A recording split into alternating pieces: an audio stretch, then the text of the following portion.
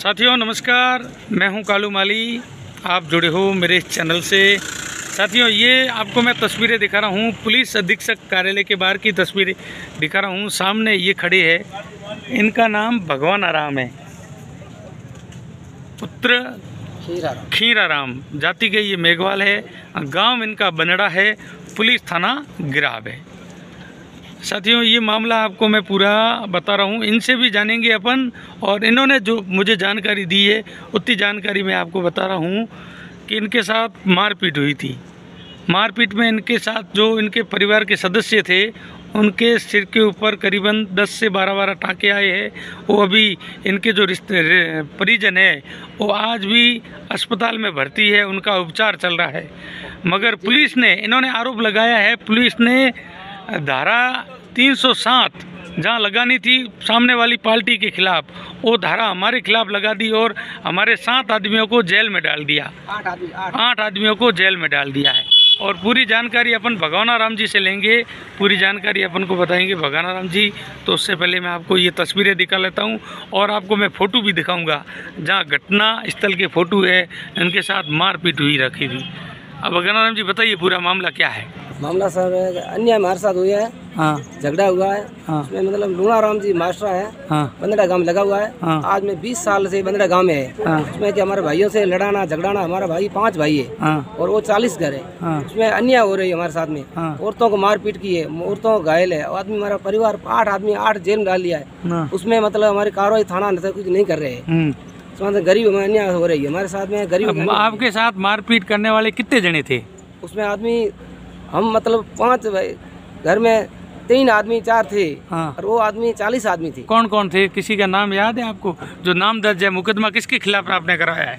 उसमें लूणा राम है मारसा। हाँ। पहले नंबर है। हाँ। उसने ये बोला है कि जो झगड़ा करना तो कर लो पैसे की कमी में नहीं होने देगा। हाँ।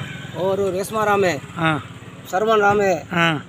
और बिजला राम है। हाँ। ये सब लोग में मतलब अशोक है। हाँ। तो ये नूंदा अशोक देता है। हाँ। मेन कार्य करते करना वही करता है। हाँ। उनमें सपोर्ट है पूरे तन मन से। उनके पैसे की कोई कमी नहीं है।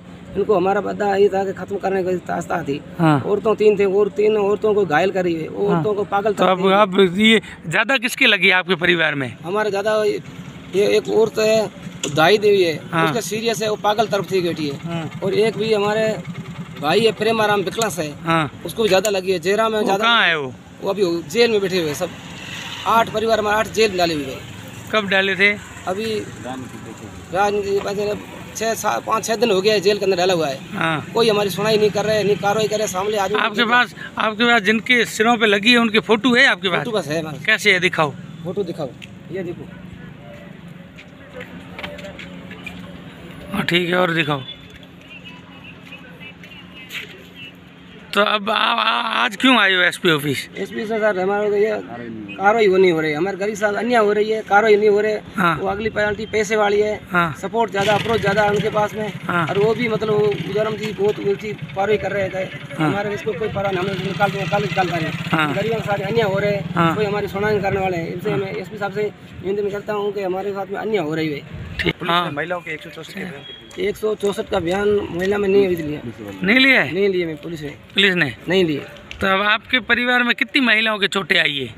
ती, तीन को तीन घायल है। हाँ ना प, प, ऐसे आदमी कितने आदमी हमारे को तीन आदमी को ज़्यादा चोट लगी हुई है। हाँ। और एक आदमी विकलांग है उसकी ज़्यादा लगी है विकलांग मेरा भाई है। हाँ। और वो भी उसको भी विकलांग को अंदर जेल में डाल दिया। हमारा आठ परिवार में आठ एक अंदर डाल दिए। तो अब आप क्या चाहते हो? हमारे के साथ अन्याय हो रहे हैं। हाँ।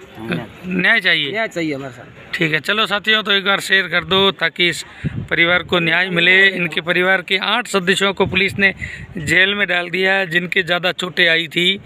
तो धन्यवाद। जय हिंद, जय भारत।